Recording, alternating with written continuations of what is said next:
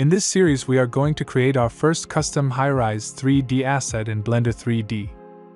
When you first open your default scene, select everything, and press X, or right-click and click Delete. If your 3D cursor is not in the center of the scene, press Shift-C to center your cursor. Now click the Add menu, or press Shift-A to add a new mesh. Go to Mesh then Circle.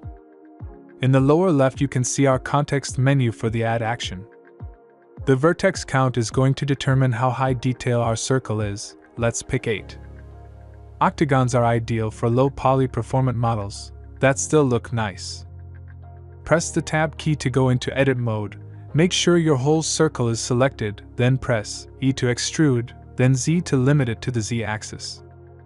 Scale the bottom with the S key and move the top with the G key, until you like the shape of our ceramic pot.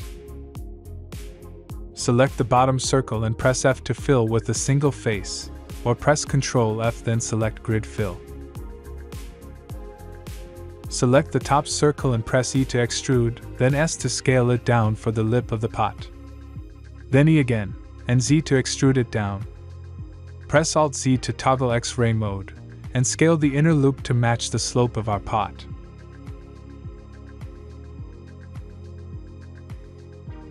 Ctrl F to grid fill again, then press I to inset our faces then move them up slightly, then do it again for our dirt mound.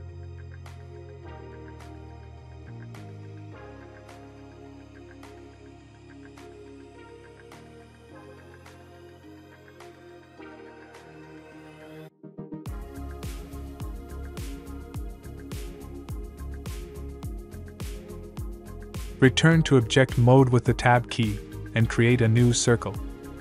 Bring this up to the dirt and scale it down so it is inside the pot, then enter edit mode and extrude it up.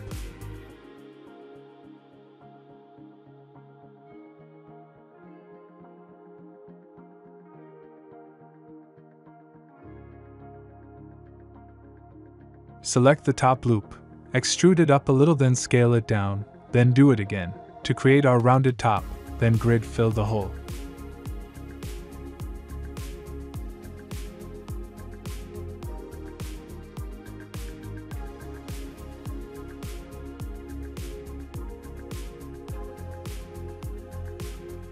In edit mode press the A key to select all the vertices, then Shift D to duplicate, and before confirming with left click, press the R key to rotate. Hold Ctrl to enable increment snapping, and rotate it 90 degrees. Scale it down and position it to the side for the limb of the cactus. Use Alt S to shrink or fatten the selection.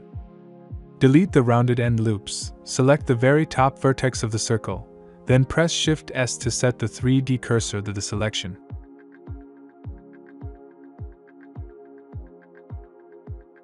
Now select your spin tool from the left hand toolbar. Make sure you have the Y axis selected for the tool. Holding Ctrl for increment snapping, spin the whole loop 90 degrees to create the elbow. In the context menu bring the steps down to 3, reducing the poly count for the bend. Now at the pivot we will have multiple vertices in the same location.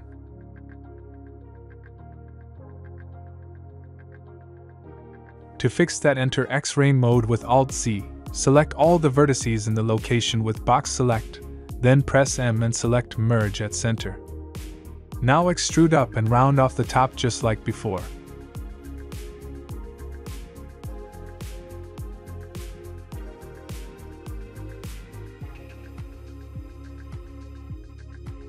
If we select part of the limb and press Ctrl L, it will select the whole connected mesh. Now we can duplicate the mesh and rotate it.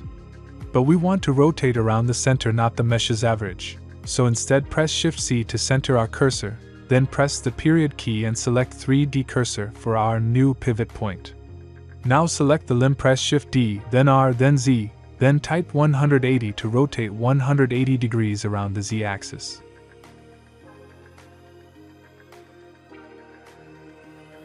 Adjust the limbs, and now we have a nice potted cactus plant to color in the next video.